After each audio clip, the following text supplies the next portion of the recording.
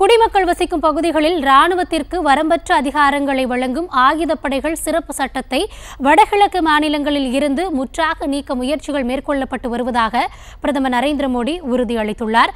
முன்னதாக நாட்டுப்புற கலைக்குழுவினர் நடனத்தை மேடையில் இருந்தபடி உற்சாகமாக கண்டுகளித்தார்.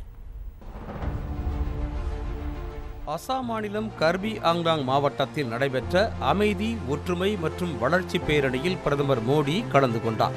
விழா மேடையை நோக்கி சென்ற அவர் கலைக்குழுவினரை சந்தித்து அவர்களோடு கைகுலுக்கி அவர்களை உற்சாகப்படுத்தினார்.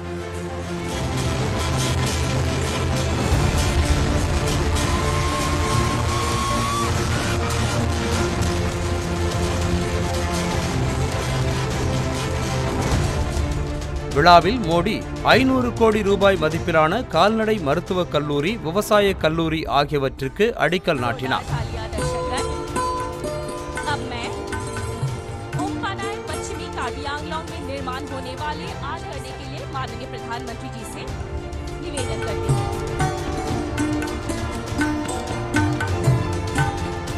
பின்னர் உரை நிகழ்த்திய அவர் கடந்த எட்டு ஆண்டுகளில் பல்வேறு பகுதிகளில் சட்டம் ஒழுங்கில் முன்னேற்றம் ஏற்பட்டதால் ஆயுதப்படைகள் சிறப்பு அதிகாரங்கள் சட்டம் திரும்ப பெறப்பட்டதை சுட்டிக்காட்டினார்.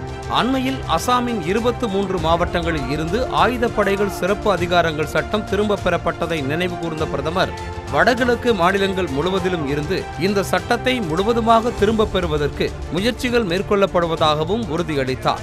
விரைவான வளர்ச்சி மற்றும் நீடித்த அமைதியை ஏற்படுத்துவதில் அரசு உறுதிபூண்டு இருப்பதாகவும் மோடி திட்டவட்டமாக தெரிவித்தார். ராஜா ஸ்ரீ ராம் சிங் ரோங்ஹாங்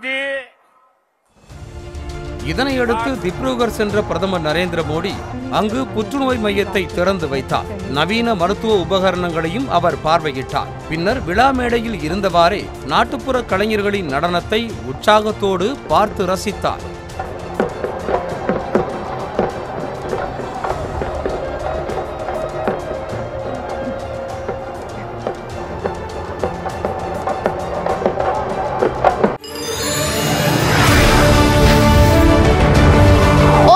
ஃபேவரட்டான நியூஸ் தமிழ் சேனலை டிடிஹெச் சர்வீசஸ்ல பார்க்க டாடா பிளேல இந்த நம்பர்லையும் ஏர்டெல்ல இந்த நம்பர்லையும் டிஷ் டிவில இந்த நம்பர்லயும் பார்க்கலாம். உங்களின் குரலாக உங்கள் சார்பாக உலகின் அனைத்து திசைகளிலிருந்தும் நடுநிலையான செய்திகளை அறிந்து கொள்ள ஸ்டே டியூன்ட் அண்ட் கீப் வாட்சிங் நியூஸ் தமிழ்